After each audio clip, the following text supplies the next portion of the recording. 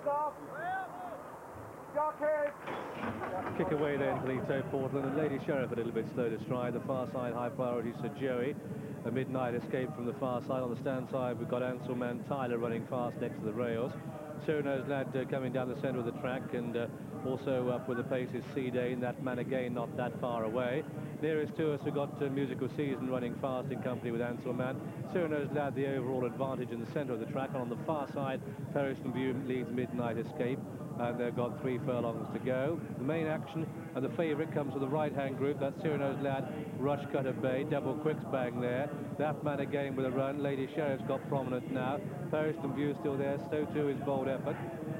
And also on the far side, Midnight Escape.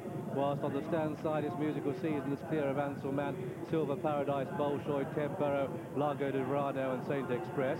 Down to the final furlong, split by the width of the track again.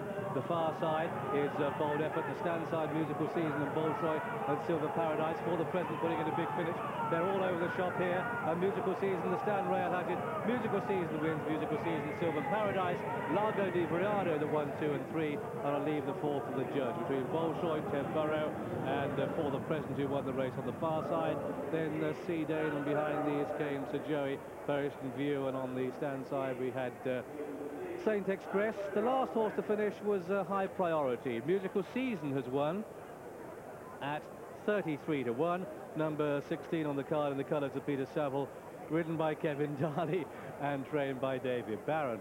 Very close call for second place. I think we'll find that the second horse home is Sylva Paradise and the third horse home is Lago di Verano bidding, putting his best foot forward.